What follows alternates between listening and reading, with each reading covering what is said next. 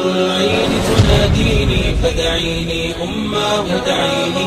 فتبكي دموعك يا أمي عن دربي لا لن تثنيني العين تناديني فدعيني أماه دعيني.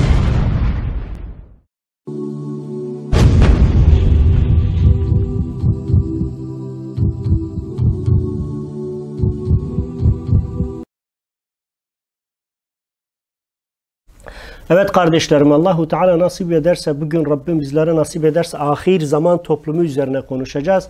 Çünkü dikkat ederseniz bazen bazı insanlar bana mesaj atıp işte YouTube üzerinden veya Twitter üzerinden veya Facebook üzerinden veya farklı şeyler üzerinden bir takım insanların, bir takım grupların, bir takım yapıların veya bir takım kişi ve şahısların İslami değerlere, İslam'ın hakikatlerine, İslam'ın en kutsalları kabul edilen Hz. Muhammed Aleyhisselatü Vesselam'a, onun ehli beytine, hanımlarına, Hz. Ayşe validemize ve daha nicelerine karşı ağza alınmayacak en aşağılık hakaretlerde, en ağır iftiralarda bulunduklarını görüyoruz ve bu insanlar kendilerini ateist veya deist veya komünist veya sosyalist veya materyalist veya emperyalist artık ne diyorsanız bunların kendini bu şekilde nitelendirerek kendi geçmişlerini, küfürlerini, sapıklıklarını, ataları Mao'yu, Stalin'i, Lenin'i ve diğer kafir müstekbirleri, Pol Pot dedikleri bir zamanlar Kızıl Kamerleri vesaire bu komünist ideolojinin neticesinde yüz milyonlarca mazlumu müstazafı katleden vahşette, cinayette sınır tanımayan, kendi atalarını görmeyip işte Kur'an-ı Kerim'de cihat ayetleri üzerinden Hz. Peygamber aleyhissalatü vesselam Yahudilere karşı yaptığı savaşlar üzerinden İslam'a saldıran işte İslam dini midir?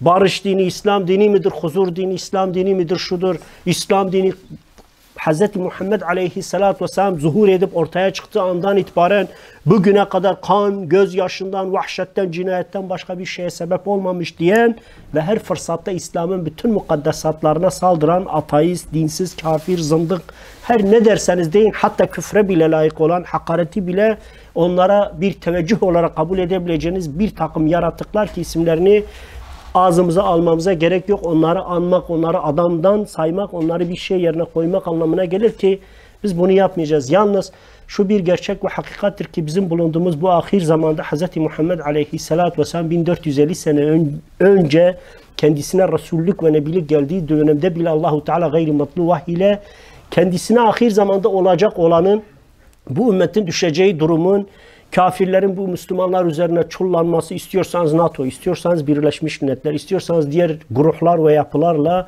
bu dine karşı muazzam bir savaşa girişeceklerini Peygamber aleyhissalatü vesselam o dönemi anlattığı zaman ravaşta olacak olan şeyin ateizm olacağını, dinsizlik olacağını, deizm olacağını yani tabiri caizse o dönemde Allah'ın açıkça inkar edileceğini, insanların açıkça Allah'a harp ilan edeceğini, Allahu Teala'ya meydan okuyacaklarını hatta mistik filmler üzerinde Hollywood olsun ve diğerleri Avrupa filmleri de dahil olmak üzere her fırsatta Allahu Teala'ya, Allah'ın dinine, ilahlara, tanrılar adı altında Allahu Teala'ya karşı bir harp ilanı görüyoruz. Allahu Teala'yı aşağılamak, sümme aşağı kendi anlayışlarıyla artık kendi tabirleriyle küçük görme, dinsizlik, hatta bilim kurgu filmleri üzerinden sanki sümme aşağı her şey kendi kendine var olmuş. Allahu Teala diye bir varlık yok. İnsanı yaratan bir varlık yok. İşte insanların artık canlılar ürettiği anlıyor musunuz? Neredeyse kolonladı, şunu yaptı, bunu yaptı şey filmleri üzerinden ne yapıyorlar? İnsanlarda bir dinsizlik algısı oluşturduklarını görüyoruz. Tabiri caizse artık İslam ümmeti neredeyse kolu kanadı kırılmış. Bu ümmet neredeyse başsız kalmış, lidersiz, öndersiz kalmış. Bunu fırsata çeviren bir takım ateistler, bir takım dinsizler, bir takım materyalistler her fırsatta Peygamber aleyhissalatü vesselama ve İslam'ın bütün mukaddesatlarına saldırıyor ve buna mukabile de bu ümmetin alimlerinden tutun amine kadar kimsenin sesi çıkmıyor. Kimsenin bu kafirlere, bu zındıklara, bu İslam düşmanlarına bir tepki verdiği yok. Ondan dolayı gerçekten üzücü, gerçekten hüzünlü bir yüzyılda yaşıyoruz. Artık bu ümmet neredeyse sahipsiz kaldığından dolayı her çakal çukal, her kanı beş kuruş etmez, izzetten mahrumdan, izzetten ve şereften mahrum insanların kendini bir şey sanarak Peygamber aleyhissalatü vesselam gibi İslam'ın en, en önemli mukaddesatı ki neredeyse canımızdan evla olan Peygamberimiz ve Peygamberimizin hanımları bu ümmetin anneleri hakkında ağza alınmayacak çirkinlikte iftiralar atan, kimisi İsrail'de Tel Aviv'de otururken İslam'a saldırıyor, kimi burada Ege'de veya herhangi bir yerde yaşıyor, kalkmış ateist fikirler ve ideolojiler üzerinden İslam'ın bütün değerlerine saldırıyor. İşin garip yani Hz. Muhammed Aleyhisselatü Vesselam bu çapsızların 1450 sene sonra çıkacağını, zuhur edeceğini, Allahu Teala'nın açıktan inkar edileceğini, Allahu Teala'ya karşı dünyada insanoğlu denilen mahlukatın neredeyse evren içerisinde bir hiç hiç olan bir mikrop kadar bile yer tutmayan insanın Allahu Teala'ya harp ilan edeceği açık ve mutlak olarak dile getirilmiş. Ondan dolayı birkaç hadis-i şerifle aslında bazılarının kendilerini bu dünya hayatında sanki bu dünyanın efendileri, sanki dünyada zeka köpüğü, ilim ve bilim ve buna benzeyen şeyler sadece onlara has ve munhasır bir şeymiş gibi göstererek hatta bazı videolarını izledim. Sümme aşağıdan diyor ki bak senin Allah dediğinin yarattığı ki özellikle dikkat ederseniz insanlarda genetik bozukluk en çok Hindistan'da yaşanan bir şey. Hindistan'da tarihinde en çirkin gelenek ve örfleri olan bir toplum. Düşünün ki kadınları köpeklerle evlendiren, yedi erkek kardeşin bir kadınla evlendi. İğrençlikte sınır olmayan, çirkinlikte sınır olmayan, pislikte sınır olmayan acayip bir toplum. Böyle yerlerde gen bozuklukları, böyle insana benzemeyen canlılar veya işte üç ayaklı bir insan, efendim dört kollu bir insan gibi böyle şeylerin doğduğunu biz biliyoruz. Özellikle dikkat ederseniz gidin araştırın ağırlıklı bunların Hindistan kökenli olduğunu çünkü sapıklıkları yüzünden, pisliklikleri yüzlerinden ve yaptıkları sınırsız çirkinlikleri yüzünden bunun olduğunu bu kafir ve zındıklar bu kanı beş kuruş etmezler. Aslında bu dünyaya geliş amaçlarını bilmeyen Allahu Teala'ya kalu belada söz verip bu dünya hayatında döneklik yapanlar başlıyorlar Allahu Teala'nın bir imtihan neticesinde insanlara bir ibret yaşayanlar, sağlam olanların tevekkül edip kendine ders alması gereken o halleri sümme aşağı sanki Allahu Teala yani ağza alınmayacak şekilde onların tabiriyle Allahu Teala insanı en mükemmel şekilde Kur'an ayetlerinde Allahu Teala insanı ahsenül takvim olarak mükemmel bir şekilde yarattığını söylüyor. Onlar da diyorlar ki ey Müslümanlar sizin Rabbiniz böyle mi yaratıyor? Diyerek Allahu Teala'yı Güya kendilerince inkara, kendilerince aşağılamaya çalışıyorlar. Ama bilmiyorlar ki Allahu Teala Lut'un kavmine de yeryüzünde var olan bütün müstekbirlere, bütün tağutlara, bütün zorbalara da yer, yeryüzünde bir hayat, bir mühlet, bir vakit tanımıştır. Ve günü geldiği zaman Allahu Teala bunlarla en ağır şekilde hesaplaşacak. Bu mutlak olan bir şeydir. Onun için Nebi Aleyhisselatü Vesselam yani gerçekten insanların Allahu Teala'ya harp ilan edecekleri, dinin inkar edileceği neredeyse müminin kalmayacağı, camilerde bile fasıkların artık sesinin yükseleceği bir yüzyıldan bahsediyor. Ve gerçekten bugün baktığınız zaman Allah'ın evleri emperyalizmin, laikliğin ve diğer batıl inançların neredeyse istismar alanı haline getirilmiş. Neredeyse Allah'ın evleri kumbara haline getirilmiş. Sadece insanlardan para devşirildi. insanların cukkalarını doldurduğu yerler, mekanlar haline gelmiş.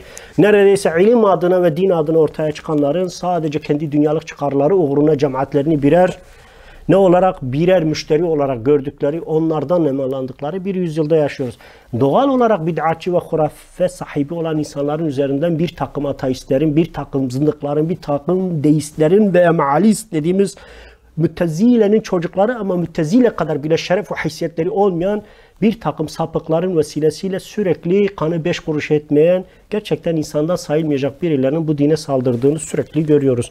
Ve bu insanlar meydanı boş buldukları için ya Peygamber aleyhissalatü vesselam Hazreti Ayşe ile olan evliliği üzerinden İslam'a saldırıyorlar ya da Kur'an'da cihat ayetleri üzerinden Müslümanlara ve İslam'a saldırıyorlar.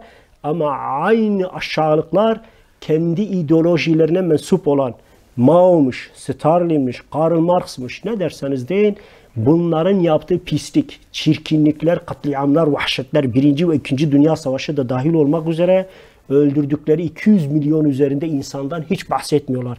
Ve kalkıp bir takım Kur'an'a ve sünnete uymayan bid'atlar veya belki haricilik zihniyetinde olan bir takım grupların yaptığı böyle belki densiz sünnete, Kur'an'a, İslam'ın aslına uymayan bir takım eylemler, öldürmeler ve katliamları bahane ederek kendi bütün çirkinliklerini, bütün fuhuşlarını, bütün ihanetlerini, bütün zulümlerini onların üzerinden örtbas etmeye çalışıyorlar.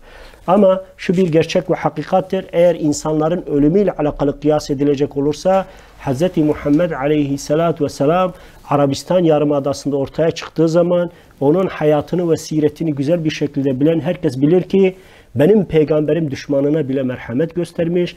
Hz. Muhammed aleyhissalatü vesselam defalarca o Yahudi topluluğunu, o Hayber'de ihanet eden o topluluğu Resulullah sallallahu aleyhi ve sellem onlar ahitlerini, anlaşmalarını, bütün şıklarını bozdukları halde Hz. Muhammed Aleyhisselatü Vesselam onlara acımış ama onlar kendilerine acımamış. Onlar zulümde, onlar zorbalıkta, onlar fitnede, onlar ihanette, onlar satmada hiçbir zaman geri adım atmamış. En sonunda kendi istekleri doğrultusunda kendi müttefikleri olan birinden kendileri hakkında hüküm vermesini istiyor. O da diyor ki bütün erkekleri öldürülsün. Bunun neticesinde 600 tane erkek öldürüyor. Benim peygamberim o nübüvvet ve mücadele sürecinde o şirkin ve küfrün sapıklığı döneminde bile Hz. Muhammed aleyhissalatü vesselam belki bir bin insanın ölümüne yani o müşrik, ölümü hak eden o kafirin bile ölümüne sebep olmazken onların efendileri, onların Marksist, Lenist veya komünist olan efendileri sadece o 30-40 senelik süre zarfında dünyada 100 milyon insan öldürdüler. Bin kişi nerede? Yüz milyon kişi nerede? İşte ama bu kafirler kendi pisliklerini, kendi atalarının rezilliklerini, kendi yaptıkları zorbalıkları, vahşet ve cinayetleri görmez. İslam'ın değerlerine saldırır, İslam'ı aşağılarlar. Gerçekten artık dünya bozulmuş, insanların dinle bir bağı kalmamış. Hiç kimse İslam'ı yaşamak istemiyor. Hiç kimse Allah'ın hoşnut olduğu, razı olduğu bir hayat istemiyor. Bunu da yapmak istemiyor. Bu sefer de İslam'ı Allahu Teala'nın onlardan istediğini yapmak istemedikleri için bu sefer İslam'ı karalayarak, İslam'a saldırarak, İslam'ı itibarsızlaştırarak kendi nefislerini temize çıkarmaya çalışıyorlar. Ve diyorlar ki ya İslam şöyledir, İslam böyledir. Vallahi bizim okuduğumuz, bizim araştırdığımız, bizim tanıdığımız Hz. Muhammed Aleyhisselatü Vesselam ve bize Rab ve ilah olarak bizi yoktan var eden Allahu Teala kadar yeryüzünde adaletle hükmeden daha kimse görmedik. Şu ana kadar istiyorsanız layıklık, istiyorsanız demokrasi, istiyorsanız başka ideolojilerle bile ortaya çıkanların ne pislikler çevirdiğini biliyoruz. Fransa dünyada işte efendim layıklığın merkezi değil mi? İlk layık hareketler oradan çıkmadı mı? Sadece Cezayir'de bu insanlar 10-15 sene içerisinde 1 milyon mazlum, mustazaf, bedevi, kadın, çoluk, çocuk demeden en vahşi şekilde katletti, öldürdüler. Hatta kafa kesme Fransa'nın kendi hastalığıdır. Gidin onların eskiden ilk dönemde bundan 80-90 sene önce Fransa ne yapıyordu? Pullar basıyordu. Bu pulların üzerine katlettikleri Müslümanların, kadınlarının, erkeklerinin kafalarının nelerini kestikleri kafaların resimlerini koymuş. Gidin YouTube'da izleyin göreceksiniz. İtalya Libya'da yaptığı vahşetleri herkes biliyor. İngilizlerin sömürge tarihinde yaptığı cinayet ve vahşetleri biz biliyoruz. Emperyalist Amerika'nın Kızılderilileri nasıl soykırıma tabi tuttuğunu, şarbonlu battaniye veya şarbonlu şeker veya çay dağıtarak onları nasıl katledip yeryüzünden nüfuslarını bitirdiğini biz biliyoruz. Biz İngilizlerin Avustralya'da abojinlere yaptığı vahşet ve cinayetleri biliyoruz. Onları maymun kategorisine görüp de soykırıma tabi tutup nesillerini tüketmek için kadınlarını zorla kısırlaştırdığını biz biliyoruz. Biz Sosyalist Cumhuriyetler Birliği dediğimiz Rusya'nın zaten cinayet ve vahşetini daha konuşmuyoruz. Kürdünden Türküne, Müslümanından Arabına, kendi komünistine kadar bütün insanlara vahşet ve cinayet hatta milyonlarca kendi taraftarı, kendi adamı olanları Sibirya'da kamplarda ölüme sürüklediğini biz biliyoruz. Aynı keza Kamboçya'da komünistlerin yaptığı vahşetleri çok iyi biliyoruz. E zaten Amerika'yı hiç konuşmuyoruz. Amerika tarihi boyunca 100 milyon insan öldürmüştür. Bütün dünyada sadece Hiroşima, Nagasaki attığı atom bombasında ölen çoluk çocuk kadın bebekleri biz kale bile almıyoruz. İşte böyle tarihleri kirlilik, pislik ve pas içerisinde olan kafirler geliyor İslam'a saldırıyorlar. İslam tarihi boyunca bana gösterin birilerinin aşırılıklarını çıkarın. Hz. Muhammed aleyhissalatü vesselam sünneti ve davası üzerine mücadele veren bir adam gösterin. Deyin ki bu adam zulüm yaptı, kan döktü. Haçlılar Kudüs'ü fethettikleri zaman, Müslümanlardan aldıkları zaman tek bir Müslüman bırakmadılar. Tek bir kadın bırakmadılar. Tek bir çocuk bırakmadılar. Tek bir yaşlı, tek bir cami, tek bir alim bırakmadılar. Hepsini en vahşi şekilde öldürdüler. Peki Selahattin Eyyubi ve Kürdü ile Arabi ile Türkü ile orayı fethettiğinde ne yaptılar? Tek bir insanın kılına, kılına bile zarar vermediler. Yahudilere karışmadılar, Hristiyanlara karışmadılar, inançlarına müdahale etmediler. İslam'ın adaletini onlara götürdüler. Onlar Anadolu'da yaptıkları vahşetlere mukabilen Müslümanlar hiçbir zaman ne onlara bir vahşet, ne bir cinayet, ne bir zulümde bulundu. Ermeniler Doğu Anadolu bölgesinde köyleri basıp kadın ve çocuk öldürdüğünde Allah'a ve ahiret gününe iman eden tek bir Müslüman gidip onların bir çocuğuna bir kadına elini sürmemiş. Hatta Bediüzzaman Said Nursi'ni biz Said Nursi'yi az buçuk biliriz. Kendisi ne diyordu? Bunlar her ne kadar bizim düşmanımız olsa, gayrimüslim İslam da olsalar, onların kadınları, yaşlıları, çocukları ve din alimleri İslam'ın himayesi altındadır. Onlara dokunulmaz çünkü onların dokunulmazlıkları Hz. Muhammed Aleyhisselatü Vesselam tarafından sağlanmış ve benim peygamberimin siret ve sünnetine baktığımızda Muhammed Aleyhisselatü Vesselam hiçbir kavmi ve topluluğu Müşrikler de dahil olmak üzere düşünebiliyor musunuz? Müşrikler de dahil olmak üzere Allahu Teala'nın 6 ay mühlet verdiği müşrikler de dahil olmak üzere hepsine karşı merhametini sonuna kadar korumuş ve gerçekten düşünün o dönemde peygamber düşmanı olanlar Bugün de peygamber düşmanı olan tek biri çıkıp da Muhammed aleyhissalatu vesselam için soykırım yaptı, vahşet yaptı, cinayet yaptı, insan öldürdü, adaletsizce davrandı diyemiyor. Gidin Avrupa ve Amerika'da Hazreti Ömer'in ismi yazıyor. Ama dünyanın hiçbir yerinde adaletten ve hürriyetten ve buna benzeyen bir şeyden bahsedilirken Mao'nun, Marx'ın, Lenin'in, Stalin'in ve diğer o komünist, emperyalist veya kapitalist liderlerin birinin adı anılmıyor. İslam tarihi boyunca düşünün ki İslam coğrafyasında Kudüs'te, Mısır'da ve bizim içimizde Türkiye'de de dahil olmak üzere İslam 1400 sene hükmettiği halde Hristiyanlık var olmaya devam etti. Yahudilik var olmaya devam etti. İslam, İspanya'da Müslümanlara soykırım uygulayan İspanyollar veya Fransızlar gibi asla yapmadı. Kiliselerin altında engisyon mahkemeleri kurarak milyonlarca Müslümanı sistematik işkencelerden geçirip aylarca vahşice işkence edip sonra da vahşice öldürmedi. İslam tarihi boyunca tek bir Hristiyana, tek bir Yahudiye, tek başka bir dine mensup birine zorla bu İslam'ı dayatmadı. Çünkü Allahu la ikrahu fi din dedi. Allahu Teala Allahu Teala Müslüman olmayan toplumlar için bu dinde zorlama yoktur. Asla hiçbir kimse zorlamayla, şiddetle, cebirle bunu Müslümanlaştırmak söz konusu değil. Bizim komünistlerimiz, mesela özellikle Marksist, Leninist dediğimiz Kürdistan Komünist Partisi PKK'de dahil olmak üzere işte Hazreti Ömer'e saldırıp yok efendim Hazreti Ömer peygamber aleyhissalatu vesselam'dan sonra iktidara geldiğinde Kürt halkını katletti, onları sistematik öldürdü, şöyle yaptı diyorlar. Ama kendileri her fırsatta pazar yerlerine değil mi veya halkın yaşadığı alanlara bomba koymaktan, insan öldürmekten, çocuk öldürmekte hiç tereddüt duymadılar. Bunu bütün İslami olmayan yapılar adaletten hürriyetten bahseden Avrupa'da dahil olmak üzere. Avrupa bugün insan haklarından bahsediyor ama zerre kadar geçmişi insan haklarından bir zerre miskal yok. Hollanda'dan tutun, Belçika'ya, Belçika'dan tutun, Almanlara, Almanlardan tutun, Fransızlara, İngilizlere, İspanyollara kadar. Hepsini araştırın. Sömürge kurdukları yerlerde çocukları öldürdüler. Anne babalarının etlerini yedirdiler. O kadar vahşice işler ve çirkinlikler yaptılar. Kadınlara tecavüz ettiler, insanları öldürdüler. 100 sene öncesine kadar bile Amerika'da kölelik vardı. Biz hepimiz bunu biliyoruz. Hala dünyada modern kölelik dediğimiz kadınların alınıp satıldığı gene Avrupa'dır, gene onların ideolojileridir. Dünyada insanın şahsiyet ve izzeti ayaklar altına atılan gene Avrupa'dır, gene Amerika'dır, gene ön Asya'daki komünist sistem dediğimiz Çin'dir ve ona benzeyen devletlerdir. Ama bugüne kadar Allahu Teala'nın davasına sahip çıkıp gidip onların yaptığı vahşeti yapan tek biri çıkmamıştır. Vallahi kim ne derse desin yok efendim Allah'ın ayetleri üzerinde Kur'an-ı Kerim'de geçen cihat ayetleri üzerinde yok Müslümanlar vahşet işliyor, Müslümanlar cinayet işliyor, Müslümanlar insanlara zulmediyor demesinler. Zulmü de kan ve gözyaşı da dahil olmak üzere bütün bu Orta Doğu'ya ve dünyanın dört bir yanına kanı gözyaşını gene bu Avrupa'nın uşakları getirmiş. Adam Adam aleykümselam. Adam komünist, adam materyalist, adam sosyalist, adamın ideolojisi ve düşüncesi sadece kan ve gözyaşından, zulüm ve zorbalıktan başka hiçbir geçmişi olmayanlar kalkıp Peygamber aleyhissalatü vesselam'dan Peygamber aleyhissalatü vesselam'da bir açık bulamayınca yok efendim peygamber 6 yaşında bir kızla evlenmiş, yok peygamber şöyle yapmış, yok şöyle etmiş. Ey be kafir zındık. Eğer Peygamber aleyhissalatü vesselam sizin dediğiniz gibi küçük yaşta bir kızla evlenseydi onun sizden daha büyük düşmanları vardı. Ebu Cehiller vardı. Ümmeye bin Halefler vardı. Daha nice müşrik kafirler vardı.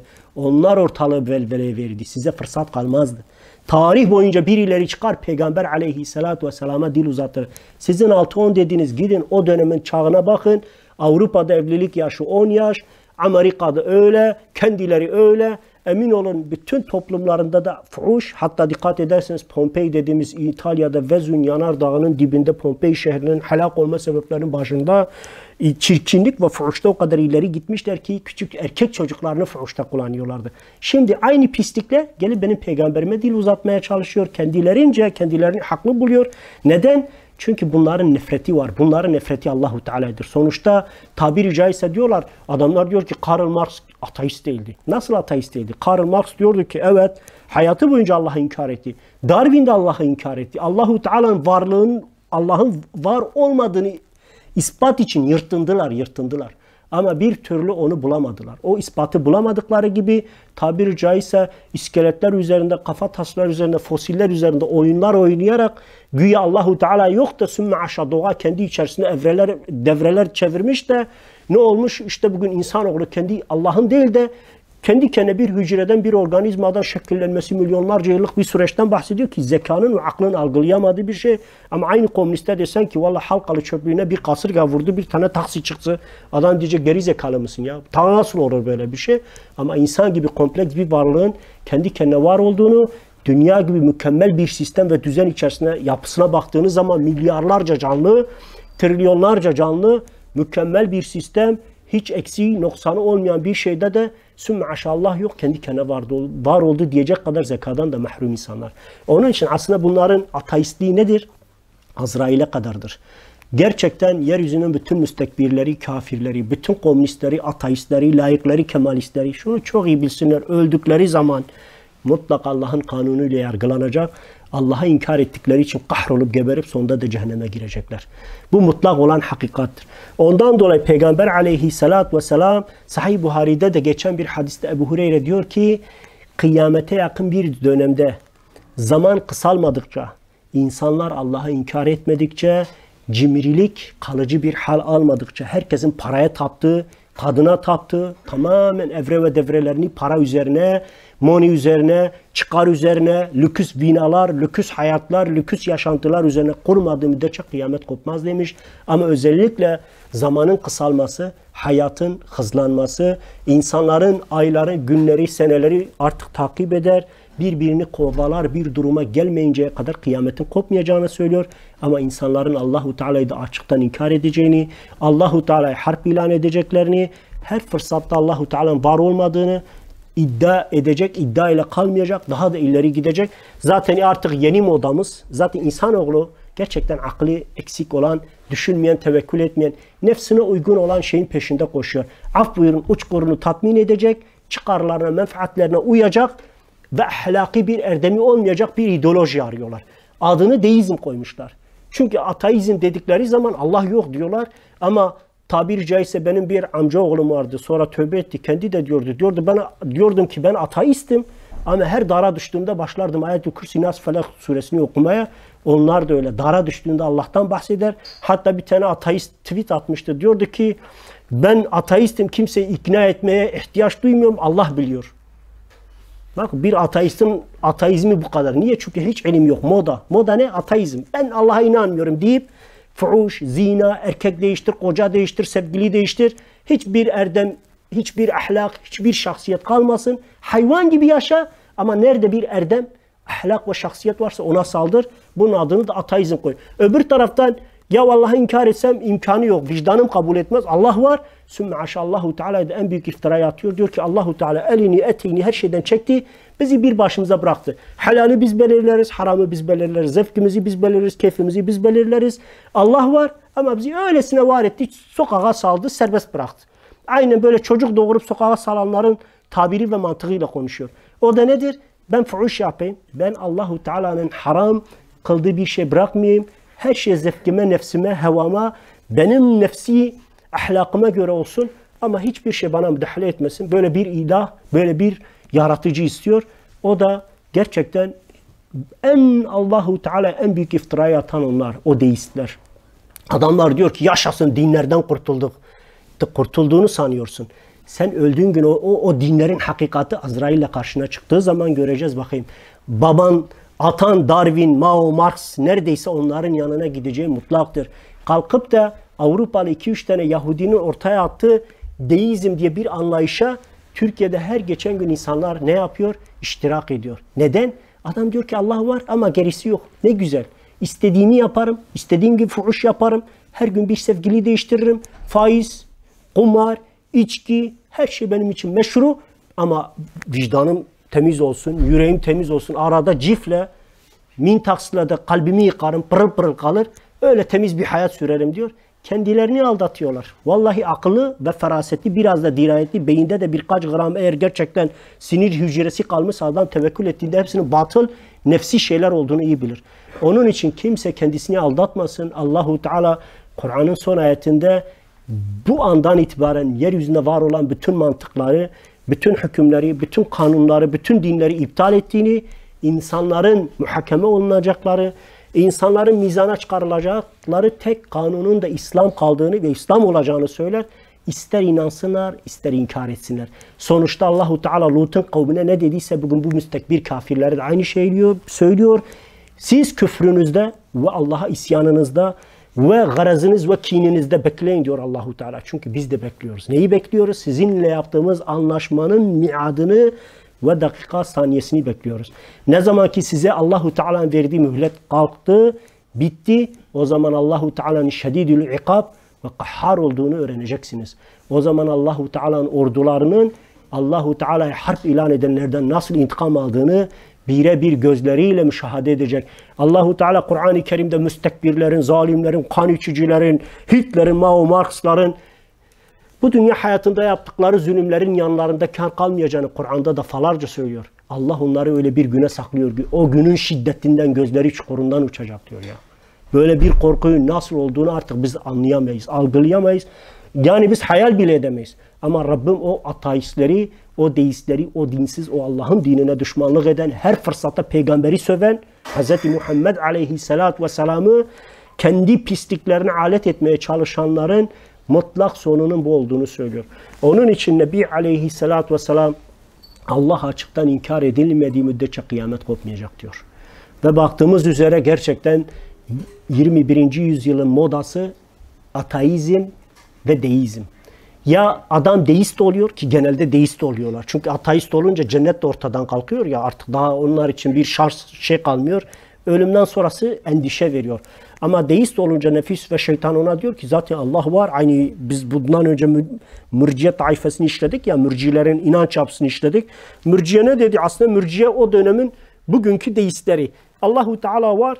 Allahu Teala'yı birlemek, Muhammed Aleyhisselatü Vesselam'ı peygamber olarak kabul etmek, onun dışında köşeyi döndün her şekilde cennetliksin.